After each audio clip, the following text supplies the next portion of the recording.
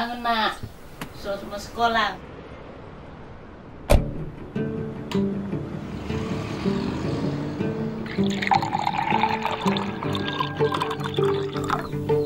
Nama saya Rian. Saya terlahir dari keluarga sederhana. Kedua orang tua saya bertempat tinggal di Kabupaten Poso. Sejak kecil, saya dibesarkan oleh kakek dan nenek saya. Sekarang nenek bekerja di kelompok padat karya yang bertugas membersihkan lingkungan di bantaran Sungai Palu. Walaupun penghasilannya hanya 250 ribu per bulan, tapi nenek tetap semangat untuk membantu perekonomian keluarga.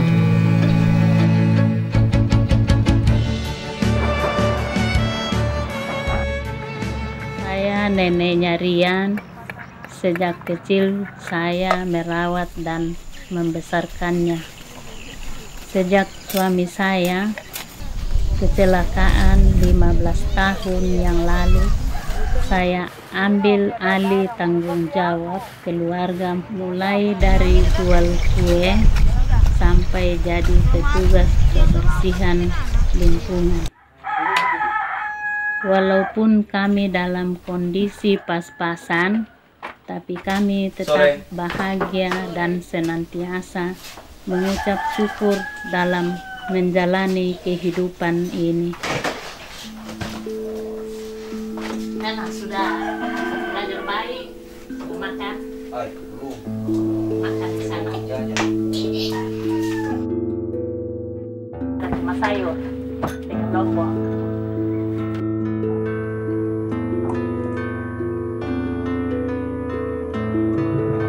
harus kasih tahu nenek kalau saya sudah mendaftar polisi. Saya tidak mau nanti membebani kakek dan nenek, apalagi sampai harus mengeluarkan biaya untuk kebutuhan saya.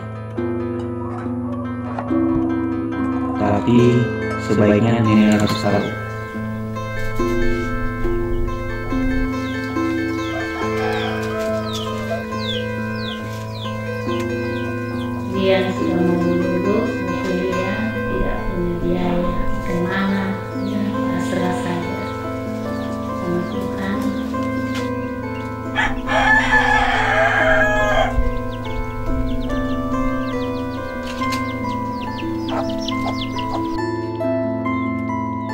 Masa apa nih? air diminum Nek, saya ini suka mendaftar polisi. nih. ada uang Eh, berdoa saja, siapa tahu rezeki. Kan belum dites juga. oh, belum jadi kalau mau pergi di sana Iya. oh, iya. Tapi saya semua daftar ini, Hah? tinggal mau tes. sudah Sudah, tinggal mau tes lagi. jadi kalau bagus dan Belum tahu, tinggal banyak berdoa saja. Doa Oh, bantu iya. doakan saja. nenek tuh berdoa Iya. jalannya bagus Sampai kesan dulu nih, nggak usah Iya. bawa berkas oh iya ayo bye bye ya Iya, iya.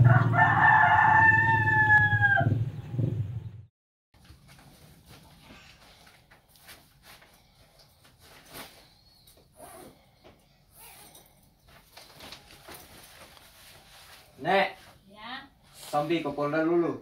oh iya. Terus saya doakan ya mudah-mudahan lulus. Nih, iya. Ini dulu. iya bye